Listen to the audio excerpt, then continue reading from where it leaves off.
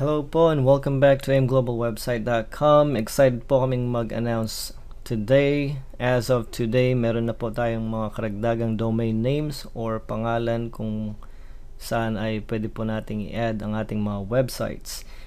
As of right now, um, actually before today, ang ginagamit po natin ay www.aimglobalsite.com slash kung ano man pong gusto nyong idagdag dun sa blank, let's say Kevin Bautista.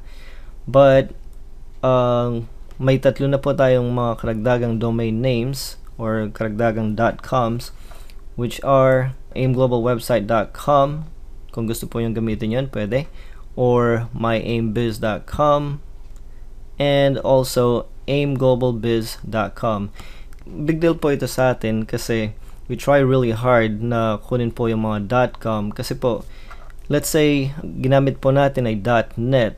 Let's say aimglobalsite.net um, kapag let's say nasa bus po tayo or may nakakilala po tayong binigay natin sa kanila yung ating website address na aimglobalsite.net slash Kevin Bautista ang nangyayari po kasi pagdating nila sa bahay ang ilalagay po nila ay aimglobalsite.com slash Kevin Bautista. So, iniiwasan po natin yung confusion.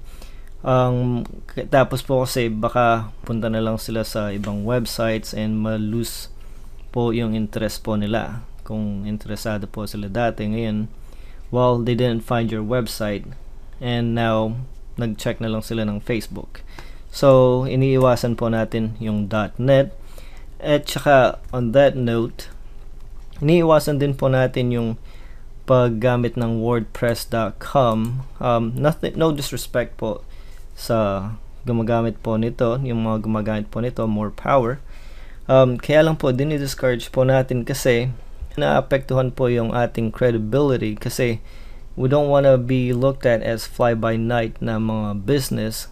Um, kung wala po tayong sariling .com nakikisakay po tayo sa WordPress um, parang medyo wala po tayong credibility, yung trust po ay medyo mahirap kunin ang trust po ng mga potential customers po natin kasi uh, nakikisakay lang po tayo sa libreng um, website. So, that's the reason na big deal po ang pagka purchase po natin ng karagdagang names na to.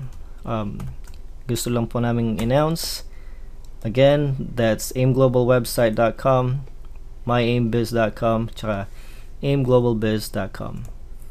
Thank you and have a great day.